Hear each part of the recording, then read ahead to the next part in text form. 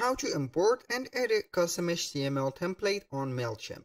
Hello guys and welcome to this new tutorial. Today I'm going to show you how easy it is to import and edit any template or email template that you can add to your MailChimp campaign.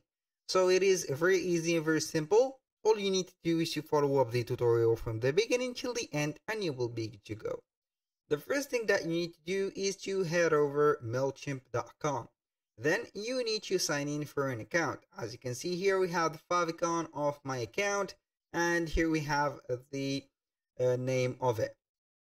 Right here, we have uh, registered within the um, platform. We are going to click on the favicon of the account. Then we are going to select MailChimp Home. So right here we have the MailChimp home. As you can see, we have the admin dashboard. So the first thing that you need to do is to create the email. So here we are on the dashboard. We are going to click on create. Now after we have clicked on create, we are going simply to choose the regular email. Go ahead and click on regular email then we are going to see here uh, the design of the email. You are going to select here design email. You can also create some automation, landing pages. But here the most important part is to go ahead right away here to the email.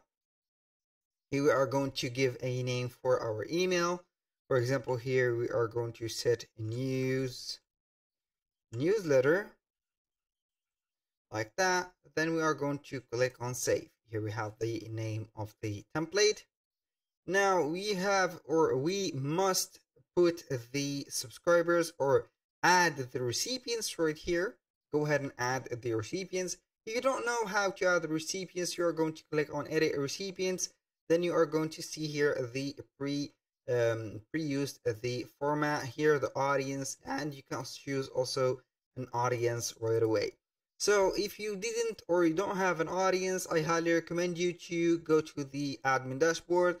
Then you are going to add the um, contacts either by importing them or you can go ahead and add them manually. So we have here um, set the subscribers. I'm going to click on save. Now we are going to set up the email from, for example, here from here we have the email sender we have also right here the email or our email to send from.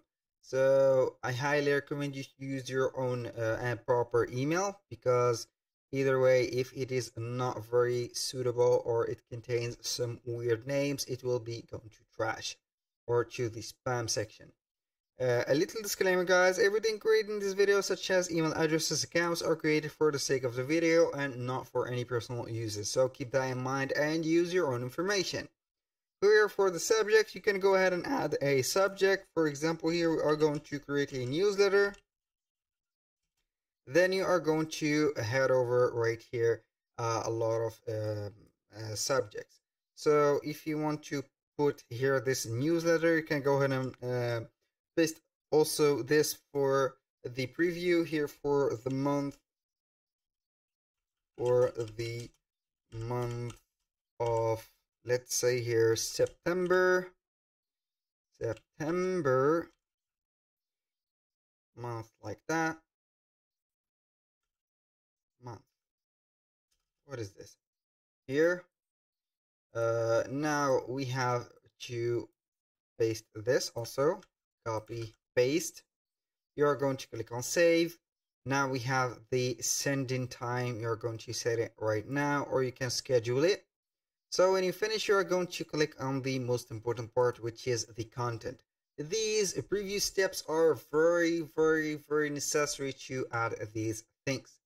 So here we are on the template. Here we have the preset templates. We have the save templates, draft emails, and code your own. Here you can go ahead and copy and paste, import from URL or import a zip. So right here, we are going to import it with a code. So we are going to head over here, a Stripo. Stripo.emails is a uh, email specialized theme or template creator that is going to be here HTML coded. So you are going to copy and paste only the HTML code, then you are going to get yours. So as you can see here, we have some uh, templates. We have some free templates or we have some um, also paid templates. You can go ahead and create your own from scratch and then you are going to get the code of it. So go ahead and choose your own template. For example, this one, I'm going to click on edit. Then we are going to see here the editor. You can either go ahead and modify the template from here or you can import it to uh, MailChimp, then you are going to set it. So here we can have everything. You can go ahead and see here with that we have some image blocks. Here we have some structures. You can add whatever you want. For example, you can add a text, a button, a, a here a divider, a spacer, or whatever. Then we have a lot of things. You can go ahead and see here the stripes, headings, buttons. Here we have also the message settings.